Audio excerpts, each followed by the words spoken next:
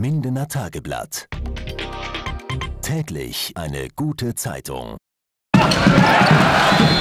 Pflichtsieg geschafft. Im Aufsteigerduell gegen den TV Neuhausen hat GWD Minden am Mittwochabend einen Heimsieg eingefahren. Mit einem 28 zu 23 holten sich die Dankerser die ersten zwei Punkte in der Handball-Bundesliga.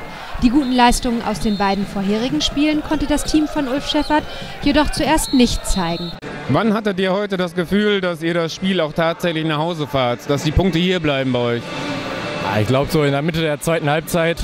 In der ersten Halbzeit hatten wir ein bisschen Pech, haben die Chancen nicht genutzt, haben Abpraller nicht geholt. Dadurch hatten Neuhausen dann zwei Tore Vorsprung zur Halbzeit und ja, in der zweiten Halbzeit sind wir ein bisschen aggressiver, haben die Dinger reingemacht vorne und dann lief es auch. Ja, sehr, sehr, sehr erleichternd. Wir haben uns heute sehr viel vorgenommen, haben uns auch selbst ein bisschen Druck gemacht, weil wir heute wussten, es muss unbedingt ein Sieg her und glücklicherweise haben wir das auch als gute Mannschaftsleistung heute vollbringen können. Auch bei ihm schien der Knoten geplatzt.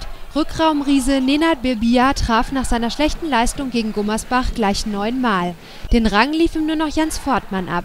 Der Torwart zeigte eine überragende Leistung mit 20 Paraden und vier gehaltenen Elfmetern.